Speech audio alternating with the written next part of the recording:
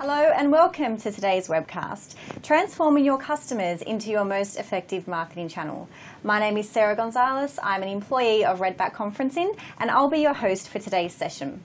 Before we get into it, I just want to give you guys some understanding of how to interact with the platform that you're viewing on today.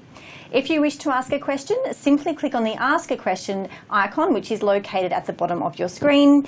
You've also got some resources there, and we encourage you to complete the survey at the end of the session or before you have to leave by clicking on the Survey tab. And just to note that today's recording of the session will be sent out within 48 hours of today. So today we're joined by Mark Halper. Mark is the founder of Recamazing, which does sound amazing. How are you today, Mark? Very well, thank you, Sarah. Thanks for having me. Great. So today we're going to be talking about transforming your customers, the marketing channels available, and also advocacy, which is mm-hmm. huge in what you do at the moment. So can you tell us a little bit about your background?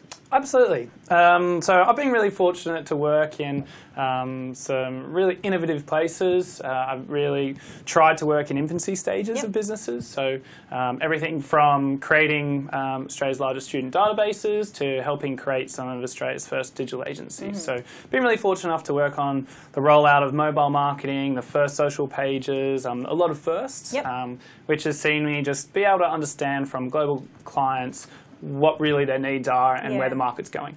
And you've been doing this for over 13 years, so you've mm -hmm. obviously seen a lot of different marketing strategies and angles and advocacy. Why do you find that the most important?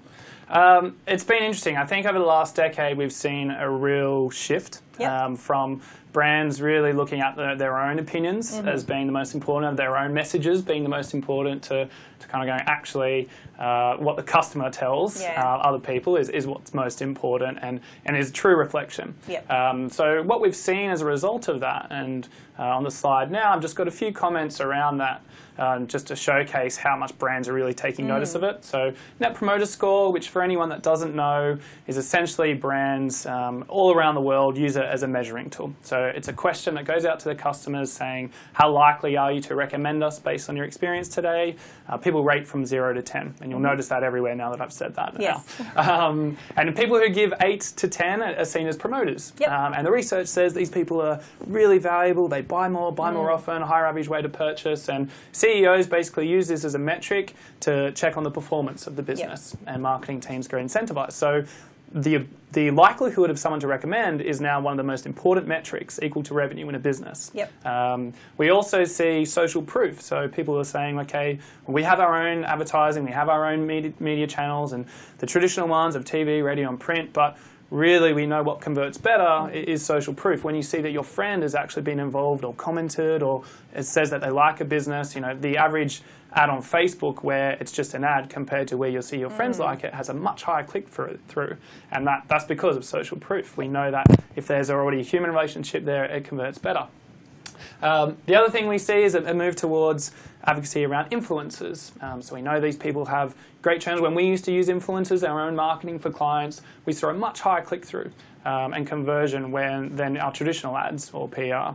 Um, but the interesting bit is that um, my clients used to always say, okay, we know we have advocates out there. We know they're recommending us to friends. We can track, they've said they've come in through a friend referral, but we have no way of knowing when yeah. that happened or who it happened by or, or how influential that person was and who else they told. So uh, I, I, found that really interesting space. Yeah definitely. So, um, what is an advocate with all that in mind? And if I do stumble on the word advocate, don't be alarmed. It's one of those words that I always stumble with, and I have to say it at least 20 times in today's session. so, what is an advocate? How would you describe one? And why are they so valuable to business more now than ever?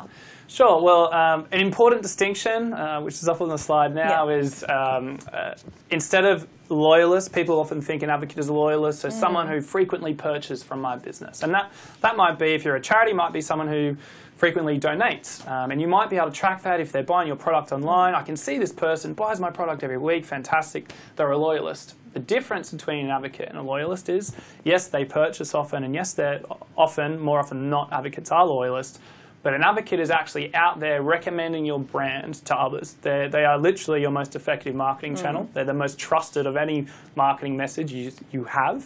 Uh, and they're out there without incentive trying to convert others to your brand. So that's an advocate. Okay, and how does a business actually know when they've created an advocate? We talk about word of mouth and how hard it is to actually understand what people are saying. So if that's hard, how hard must it be to even know who the advocates are? Yeah, it, it's it's really interesting. We there's a lot of overarching uh, research done uh, on advocates and from people who. Uh, we, when we when people are asked, uh, do you advocate a brand? Do you recommend a brand? You kind of get that research, and some some brands do it well, but more often than not, and the majority of businesses find it incredibly difficult to track. So, the research shows that advocates account for around five to ten percent Yep. of all our customers, um, and also what shows from their value point of view is that they're five times more valuable than the average customer themselves. So, where someone is seen to be an advocate and puts their hands up for an advocate, where the, the lifetime analysis of their value Mm-hmm. has been seen, they're actually five times more value, so they purchase more from your business. But not only that, they're actually out there recommending others to your business, Ah, and those referred customers. Uh, a study was done across 10,000 bank accounts, which saw how much value a referred customer brings into the business. Um, and as a result, they saw referred customers have a 16% higher customer lifetime value themselves. Wow. So not only are advocates buying more, buying more often from you, but the people that are actually coming in that they've referred are actually more valuable as well because they come in with a guard down. They go, well, if my friend has actually recommended you, I, I trust you, I won't kick your tires, I'm, I'm happy to go and, and purchase things Yep. from you and purchase more of your portfolio. Uh, and what we see as a result is, from a marketing sense, that it drives. If you if you can use marketing and, and customer experience to drive advocacy, it actually converts and, and value is twice the p- amount of paid advertising. And social media has really changed the game here as well. So uh, we know that 81% of consumers are influenced by friends' social media posts. So the more you connect advocates with your social media, uh, the better. Great.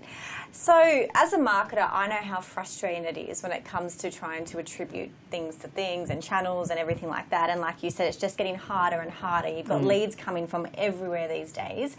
Um, and I know the power of word of mouth as well. So, how how does it all work? If I, how do I actually find out what people are saying about my brand? You know, what what steps can I take to actually make these advocates, but also understand what's being said and how how can I even track all that information that's coming through? Yeah, it's um, it's incredibly difficult. Mm. so as you said, it you, you you have a sense, and you probably meet customers. Yeah. And say, oh, I've told my friends about How you. do you it's measure great. it? uh, but how's it how's it actually happen? Yeah. So we, we know that businesses um, like understand that word of mouth is really powerful Mm. and, and drives more conversion than any message, but.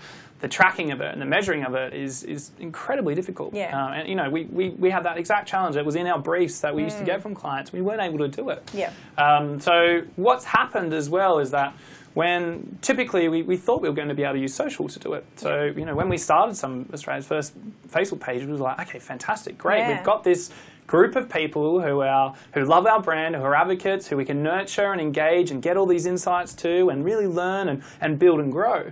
Uh, and what ended up happening, of course, is that we kind of muddied the water ourselves. We used it as a lead channel.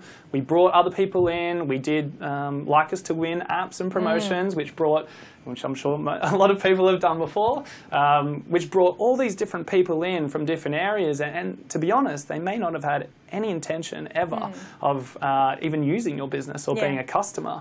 So it became um, something which we all hoped um, was for advocates, but then obviously uh, Facebook has to make money. Um, They changed their kind of algorithm, it's become a pay to play station.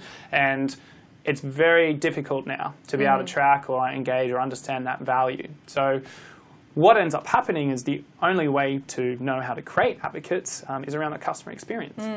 Okay, so what about referral campaigns then? Yep. How does that play into all this? Because I know that I've worked in businesses before where there's a referral campaign and it's like, okay, if you refer this many people, you get this as a gift. Or if you refer this many people, you get this off your next bill or something like that. What's aren't they advocates? Yeah. Yes and no. Okay. Um, so it, it is a different. It is a different kind of marketing. Yep. So absolutely, referral marketing exists, Yep. and, and it's very widely common. Um, it's widely practiced. Um, so as exactly as you said, re- refer this and receive. Mm. Um, What's really interesting though is the stats where uh, research has been done where you've asked, where they've gone out and asked people, do you recommend a brand? And the universe of the answer is yes. So Yep. of all the people who say yes, there are advocates. They then ask, okay, why do you recommend the brand? Mm. What, what are those reasons why you recommend the brand? And interestingly, because it, I think it it's very different to what you do expect. yeah. It's very different to referral marketing. Is that the customer experience? So I know if I'm going to recommend a brand to a friend, I really need to trust that that mm. business is going to deliver a good experience for that friend. And if I don't, well, I'm not gonna I'm not going to refer you. Mm. So what we see is certainly uh, the incentive side. You're probably going to get a little bit of a spike, but what we always say and best practice is always if you if you have to incentivize a referral, um, it's a really short term tactic. You are far better focusing on the customer experience and delivering a great customer experience to generate true advocacy because in the long term your business will be far more cost efficient for it. You won't have to rely on incentives. And interestingly, when advocates are asked how, how incentives actually work for, for them, um, referrals, only 1% said that's why they recommend. So, speaking to this graph now, Hmm. why do? What are the other reasons that people recommend, and what drives that? So, how can I, how can I, as an organisation, try and make this beneficial for me? Yeah, so uh, the customer experience is by far number one, and what we've seen is a real shift in that space too. Yeah. So, so brands really, and that's why they measure likely to recommend. They look at okay, how do we deliver a good enough customer experience to drive that advocacy, and, that, and that's the real truth point. You know, it's not our it's not our messages, it's not trying to say things that maybe we don't deliver on. Yeah. It's it is only true when the advocate has that good experience and recommends to their friend. It's a really good measure. So the focus should be on um, being being human, being empathetic, really understanding your customers, understanding what they want, and delivering that for them. Um, and if you do make a mistake, you know, make up for it. Be human in that, and apologize, and and, and use that as a, as a good service turnaround point. The other reason why people recommend is is helping others. Um, so. What was really interesting, uh, we did uh, focus groups around why people use uh, review sites compared to when they word of mouth in friends. We said, okay, who's used a review site? And everyone put up their hand, usually Yeah. TripAdvisor, and we said, okay, who, who's left a review? All the hands went down. We're like, okay, that's really interesting. Yeah. You, you know the value of the review site, but you're not really participating yourself. And then we followed on and said, okay, who has actually went on and actually told their friends about Hmm. the experience? Um, and all the hand, all hands went back up. We said, okay, why is that? Oh, well, I want to help my friends. You Yeah. know, there is an inherent need for us to want to help our friends. You know, we know that uh, we live with them. You know, they, they help us, and that's the relationship we have. So, um, being able to ask for recommendations, and that's what our platform kind of focuses on, is the ability to store it for your friends to enjoy as well. Um, and then there's there's the social kudos as well that people get, and I have a feeling that. Whilst this is measured as three percent, it's probably a lot higher. I think people like to feel they're knowledgeable. People They just like don't want to admit it. exactly. Um, people like to go, I, I knew about this business before you, Oh, yeah. and aren't I great? And this is, but it's important. You know, it's a part of people's own brand persona that Mm. they feel. You know, I'm, I'm involved in tech, so I know about all the tech businesses. Mm. I'm going to let you, you know, and you know, how great am I? And I think that's that's a big factor. Um, Yeah. People have that social kudos. And I think, you know, for me as well, um, I only leave feedback when it's really, really good or really, really bad. So as um, I've moved through my career in marketing, I've started to look at, you know, annual customer satisfaction surveys and think, well, is that really a true representation? Because Yeah. if I've had three experiences with a company on an annual basis, I'm going to look back to either the really, really bad experience or the really, really good experience. It's not really timely, is it? So No. it's the fact that we're doing things much quicker and, you know, we need to know now. And if I know if one of my friends asks for something on Facebook, everyone's like, bang, bang, bang, straight away. Is Yeah. that also playing a role in what we're talking about here? Yeah, massively. So um, what we see is, is the timing is everything, and that's where brands are becoming a lot more sophisticated. Mm. Yeah. Mm. So instead of that annual survey that they, they send out and say, try to remember that, and exactly as you said, you only remember the memorable Yeah, ones, which are going to be really bad or really good, and in the in between, you're kind of like, oh, I don't really Mm. remember. So that's what kind of gets input, but. People are getting a lot more sophisticated with their CRMs. Yeah. Um, the ability to actually target at that point. There's a lot of literature written Mm. on this. Um, I've consumed as much of it as possible. uh, and it basically says, you know, for, to, to increase advocacy at its highest point, you, you need to be timely. It's essentially at the point where the consumer would normally say thank you to you as a business. So Mm. Yeah. if you've just delivered an experience, you've just delivered your service, you've delivered it well, that's where you should ask Yeah. um, for that feedback and, and to, to ensure that it's going to be positive advocacy. Yeah. Or even if it's not, you know, you get that immediate feedback to understand what you're doing wrong to then Mm-hmm. optimize rather than a year later when it's it's far too Yeah. late and you've probably lost that customer. Um, and also, while we're going through this, um, I just like to hear feedback from people online right now. Just type into the chat box what sort of feedback um, loop or channels do you use within your organisation, and how is it working? Um, I know there might be a lot of charities and not-for-profits out there Mm. using Facebook because it is quite um, quite a good channel for them. But you know, do you do your annual satisfaction surveys? Do you do M- um, NPS or something Yep. like that as well? Just some feedback in the ask a question box would be great before we move on. Um, so let's talk about WOM Yep. word of mouth. Yes. Right? Got it. Um, so word of mouth, as I said, it's you know it's a common theme across here that it's challenging. It, brands know that it's it's incredibly important. As you said yourself, you know Yeah. it's your most powerful, but there, there is a lack of tracking. Um, what we saw, we used to do the customer barometer, the global customer barometer for Amex each year, and it would tell us that on average. People tell eight people about Yeah. a good positive experience, mostly offline uh, and for friends. But people are connected to, on average, 846 across all their social channels Wow. these days. Yeah. Uh, some duplication in that, but you know the amount of contacts. So we kind of look at that as this, this bridge between okay, well, if there's this positive word of mouth going on, and Mm. people tell eight, but they're connected to 846. There's this there's this really big opportunity here for brands. yeah. Um, but how do we how do we get that happening? How do we track it? How do we know when it's happened? Um, yeah, that that seemed to be the missing piece um, Mm. for people. I'm just on that as well. Thanks for your comments that are coming through. So Adam says their organisation uses Facebook. Uh, that's their main form of feedback at the moment. However, a lot of it is negative um, if it does come through on that channel, but they do respond to it immediately, Mm. Yep. um, which I've heard That's is good. also Yes. always a good thing as well. Um, and then we've also got Natasha saying that they use um, satisfaction surveys that are just three little questions after each experience, Great. straight after an experience with the organisation. So Yeah. two very different forms there. Yeah, it's um, and a lot of our clients do do the same and Yeah. actually utilise both. And, what we're seeing through whether it's CSAT or customer satisfaction surveys or, or NPS, um, hopefully you're, you're tracking, you know, how likely they are to recommend because it's a really nice uh, truth point of Yes. uh, from a customer of really on your performance. If you are, and they're giving you um, a good a good score, you know, there's plenty not not just recommending. There's plenty of ways to actually drive that advocacy and in a positive form in social. So you might use Facebook, you might use social, uh, any other social channel to connect that positivity to friends or review sites. Yep. Um, from a Facebook messaging, yeah, I don't think you're, you're getting around that. And I think that's, you know, one of the things that makes us accountable as marketers and, and shifting towards understanding, well, it's about the customer's voice, not ours, is they now have a voice and it's Yeah. very loud on social. Um, it is often, you know, as you said, you either go for the extremes, the positive and negative, and that's probably why people are going to your Facebook to provide these negative uh, comments. Um, we have, you know, we'll touch on it later, but our, ours is a place we're focusing on the positive. Yep. Great. Um, but certainly, you know, best practices, and I'm glad to hear that you're applying to all of those Mm. as well.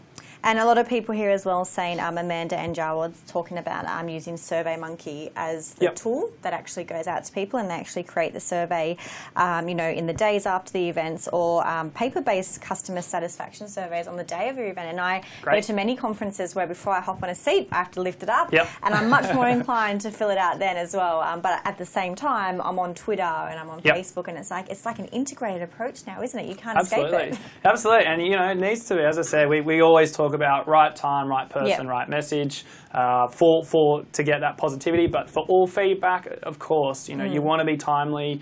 You want to be there and then to get the most.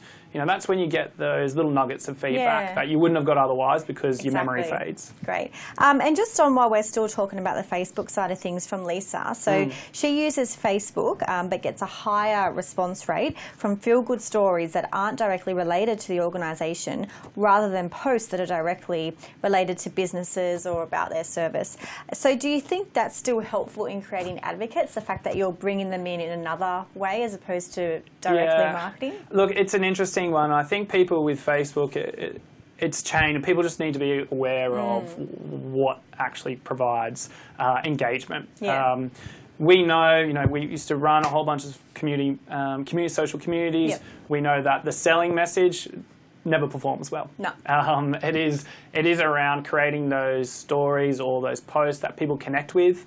Uh, what Facebook is now the algorithm, and they, they make you know no hidden smoke mirrors around this. It is around creating shared content. So Mm. it's not about you, you actually don't get anywhere near as much traction if you create something that gets liked or uh, commented on. What Facebook's algorithm puts the priority to is where people share it because they've said, well, others others don't necessarily care about whether my friend is liking or, or posting on a brand's Mm. page. What they do care about and what they put priority to is if you share it because you, you think it's so Yeah. worthwhile content that you want your friends to know about it. So that's when the higher. content gets shared a lot higher. Um, so really, before you post anything, um, it's all around okay, how shareable is this content? Is this what people are going to connect with? And it's something which has polarized brands. And you know, we worked on. Uh, for Reckitt Benckiser, with one of the biggest advertisers in, in globally, um, and just before I left there, they, they cut 70% of their social spend because Wow. they went, well, we want to deliver paid uh, sales messages, and, and this isn't necessarily the right channel for us. Um, so they really had to look at it and go, "What- what's what's the ROI? working. Yeah. So just on that, so we know how we can create advocates of Mm-hmm. our brand now. We know it's all about shareable content. It's also all about you know giving peop- giving back to people and Mm-hmm. that sort of thing. What sort of platforms? And let's talk about Recamazing a little bit, just Yep. so we can sort of distinguish between Facebook and Recamazing and Yep. the other platforms available out there, and put some context to what we're talking about Yeah. today. So what is it essentially? Yeah, sure. Um, so Recamazing is, is a fairly new approach um, in the sense of what our product provides, but Hmm. it's not a new approach as in marketing. As we've, we've all been talking about word of mouth Yeah, and how powerful it is, Yeah. so it's, it's not a new um, sentiment, but essentially the easiest way to explain it is uh, we call our, often ourselves the digital barbecue conversation. So Oh, if, catchy. if we're if we're it's more an internal term, Yeah, but yeah. if we are at a barbecue and you go, Look, I really need a good mortgage broker, or Mm. I'm looking to get uh, a physio, or I'm looking to get involved in a charity, I want to know which one. Um, Now I get it. Sorry. essentially, you know, you're, you're sitting there talking to friends, um, and so you'll say, you know, has anyone got a great mortgage broker? I would go, yeah, sure, Sarah, go speak to mine. They're awesome. Here's their details. Yep. So we essentially store, we're a shared location for friends to store all their favorite business recommendations. So you can go at any point and see what your friends have recommended, or you can ask your friend, and it stores in one location against all the different categories. So essentially, you have your most trusted businesses in one place shared between your friends. Uh, and that's how it works for users. Yep. And obviously, because that happens on our site, Yep. we get a lot of interesting data, we get a lot of interesting metrics, all those things we've talked about that are impossible to Yeah, find about exactly. who's recommending us, how does it happen, when does it happen, why are people recommending us. All those things are um, all of a sudden they're created and you can track them as a business to really Okay. understand well what is it that we're doing why are people out there recommending us what are they saying to friends when they're Mm. recommending us is it our online service is it our friendly staff is it a specific staff Mm. member um, so at that point for businesses essentially we're a really simple uh, customer experience tool Yep. to help you with your advocate marketing Okay. so we allow you to really simply ask for recommendations and track when they're given So TripAdvisor comes to mind. I think of TripAdvisor, a corporate TripAdvisor for businesses. Yep. And understand that it's similar to that, and if you could just explain the differences. But why is it so positive? I would think, you know, why can't people leave negative feedback? How, how does that all play into it? Yeah, sure. So where we distinct ourselves, because that's most often the, the first The question of, yeah. Mm. of how, how are you different to a review site? So what we saw with review sites is that because it's not your friends, Yep. you, you need that volume. So you go on a review site and you, there might be 400 reviews, but Mm. uh, you don't know who those people are. You know, it's Bob from Sacramento. You don't know him from a bar of soap. Yep. Uh, when he says he's like this hotel, you, you have to really dig in and see if that's something that resonates with you. Is this person like you? Do I actually? Who are they? Yeah, who are these people? um, so, but look, it's incredibly effective, Mm. and, and don't get me wrong. uh, You know, I'm, I'm not saying it's a channel you shouldn't use. It, it is. You know, they've done studies on uh, an extra star on Yelp equates to nine percent increase in revenue, Mm. for instance. So incredibly important. However. What we're seeing is the missing piece is, is that friend and that, that word of mouth recommendation between friends, which the studies all tell us that it's far more effective. If I can get, I've got 400 reviews from randoms, or I've got one good friend actually saying you should use this business. I'm going to go with my friend. Exactly. Yeah. I'm going to go at least consider that. You know, at least that's in my consideration set. So.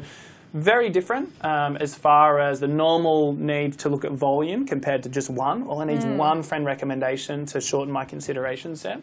The other thing that's different, and you touched on before, it's it's the positive. Yep. Uh, it's not the negative.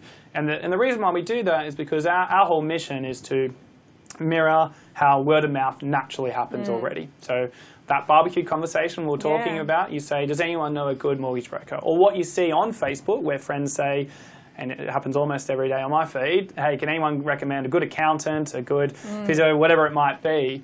Uh, they don't also say, and can you tell me all the bad ones? Yeah. Um, because you don't need that. Yeah. You don't need that information um, because it's between friends. And so if they just say, no, I trust this one, do it, great. That's all I need. That makes my whole journey Mm. a lot shorter.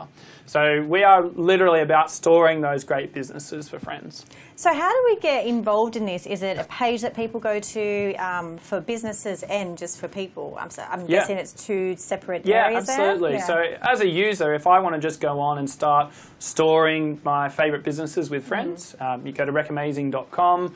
You log in via Facebook. You know, we're, we're not about creating a new social network. There's plenty of others out there Mm. yeah, that yeah. do that. Too many passwords. Exactly. So you, you log in via Facebook, we pull in all your friends in one place, and you can start storing your favorite businesses. You can invite your friends to join. You can ask your friends to provide their favorite businesses in the categories you need if you need a reco. Um, and so it all works very simply, and, and hopefully it, it's quite intuitive. Please let me know if it's not. Yeah. Um, and, but from a business side, you go to recamazing.com slash business, or you'll see the prompt on there uh, for business owners. And essentially, you register a profile. Mm. Uh, really simple. It, it's like a business card. So it's just Redback. Here's our here's our um, web address, and Yep. here's how to get in contact. That's all you need because it's the same as that barbecue conversation of Yeah. here you go, go speak Pin to Redback. card, yep. Um, and so it, it takes two minutes to register. We're then not about creating content and ongoing content creation. We know that's incredibly uh, time consuming Yeah. and, and costly. So you literally register your profile. You then ask your own customers to recommend you to their social contacts. Ah, so it's like a campaign then, saying, Yes. "Hey guys, we've got this um, channel set up. It'd be great if you can recommend us." Absolutely. Wow. So you essentially it allows you to extract everything we've talked about of those advocates out there who are out there recommending you. You, you essentially ask them to Hmm. recommend you, and you ask them to say, "Hey, if you've had a great experience with us." You know, Please let your friends know about us and store that recommendation, Recamazing, for your Facebook friends to find when they need a good business. Okay. Um, so instead of it disappearing up the news feed, and Hmm. when you're asking for a recommendation, it might post to Facebook and disappear. Um, we store it permanently on Recamazing, and then we also have the ability to share it on Facebook and Twitter as well. So you So get the post. So much sharing happening right Yeah, now. It's yeah. lovely. Exactly. Well, you know, sharing's caring. Yeah. Um, but yeah, the big difference for us is that it's permanently there. Yeah. So even a year later, if you've gone and, and recommended a great designer or a design agency, I can go, oh, great. I can go on here, search design agency, and see that you've recommended that. Fantastic. I don't have to go out there and spend days looking for it. I can put that in my consideration set and make my journey a lot quicker finding a good business. So is your goal, and be mindful, I'm very mindful of the fact that you, you started this business 18 months ago. You Mm. said in your second bedroom, so congratulations on that. Um, but is your goal eventually to have everyone have, that everyone will have a Recamazing profile? Yeah, look, that you know, it's a very lofty goal. Maybe not everyone, your just ninety big, percent. hairy, audacious goal. Um, but yeah, look, our our goal, and you know, whilst this has been bubbling away for eighteen months, we, we launched. Uh, to consumers in September. So Yep. that, that's how long a platform like this takes to pull together. We're really fortunate in that we've had you know category leading brands on board driving advocacy. So we work with Virgin, we work with Open Colleges, we work with Peter Warren Automotive, we work with a whole bunch of charity Mm. clients. Uh, we received funding in December from investment backing, so Great. it's a big milestone for us to actually um, you know drive even more value for our clients Hmm. and for our users. But our goal, yeah, absolutely. Right now, um, it, the focus is on helping businesses grow and, Hmm. and businesses who find word of mouth drives their business already and Yep. are generally creating good customer experience. They're the ones who are going to find the most value out of it. Uh, and from a user perspective, we know, you know, we know they're looking for recommendations. We know at this moment the stats are 50% of all sales are uh, um, influenced by word of mouth. So we know it's happening. We see it on Facebook all the time. We're just providing a better solution for it to be stored. Um, so yes, our goal is everyone to use Yes. it. Probably right now, it's you know to get those people who are socially savvy, the ones who really believe in advocacy, uh, and they're the brands that we've partnered with. So how much does this cost? Yeah. If someone wants to hop online and do it now, and I believe not for profits and charities, uh, there's a deal or something. Yeah, absolutely. So look, our big brand partners like Virgin, who, who you know have the agencies, who have the analytics, kind of analysts looking at data and, and understand their leads and advocates. That's three grand a month um, in six month subscriptions. But we do have a small medium size business profile, which you don't get all the analytics and kind of forever, but you do get access to some, um, and you do get to drive recommendations still, and that's sixty five bucks per month. And right now is actually a, a free trial. Um, but then, as you said, the, the charities, and if you're a registered charity or not for profit, uh, you actually get access to the platinum ones, so the ones that our big brands use, which is typically 36 grand a year. It's free. Um, Oh, so there you go. that's part of our giving back culture Yeah. uh, that we have at Rec Amazing. We, we, we're kind of very proud of that. Yeah. Um, and so we don't want to make money off charities. So if you're a charity, Yeah. go and utilize it because it's very valuable. I just, yeah, I just was my. I don't usually like bringing up anything sort of salesy in these events, but I do know that we've got a lot of not-for-profits and charities online at the moment. So I Yeah. um, just wanted to make sure that you guys know that you do have access to these sorts of platforms for free. And you know, if you do have people wanting to use these platforms or even driving advocacy in general, what are your recommendations? Because I'm thinking it's a lot more than just sending out a blast email saying you like us, recommend us. How do you do it? How do you do it effectively? Yeah, so it comes back to that that really mantra that we have around right person, right time, right message, um, and you know, we talked about before. It, it sounds like some of our watchers are actually already doing customer satisfaction surveys. So the way our clients do it, if they've given you a positive rating, it's fantastic to hear you've had a great experience with us, and you drop down. The next question is, please recommend us to your friends, so they can find us when they're have, looking for a good business. Um, so that's a perfect example of Yep. You've already established who your advocate is, and then you ask the recommendation. Other clients, you know, open colleges look at it as, okay, you've just graduated Yes. um, from your online education, and the teacher sends out, we hope